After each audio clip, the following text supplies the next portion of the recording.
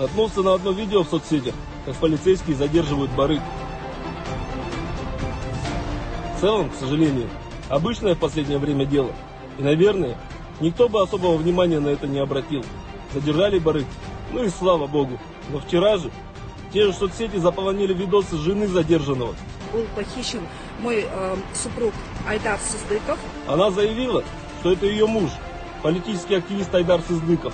И его похитили. Сейчас Айдара Сыздыкова увозят, не предъявив никаких доказательств, не э, обыскав э, квартиру, никаких э, оснований для задержания нет.